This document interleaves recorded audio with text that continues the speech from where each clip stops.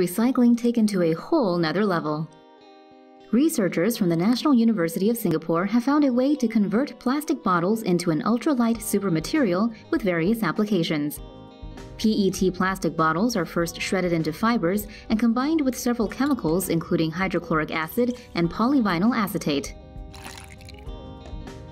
The solution is put into a sonicator where it's mixed using sound waves, then freeze dried to produce an aerogel that is soft, durable, and flexible. The aerogel is versatile and can have unique functions with different surface treatments. When coated with an amine group, it can be used in pollution masks to absorb dust particles and carbon dioxide. It can absorb large amounts of oil when incorporated with various methyl groups and withstand temperatures of up to 620 degrees Celsius when coated with fire retardant chemicals. Researchers have listed several practical uses for the aerogels, including cleaning oil spills, building insulation, or as a lightweight thermal lining for firefighter coats. The fabrication process is also quicker and more cost effective than conventional methods and easily scalable for mass production.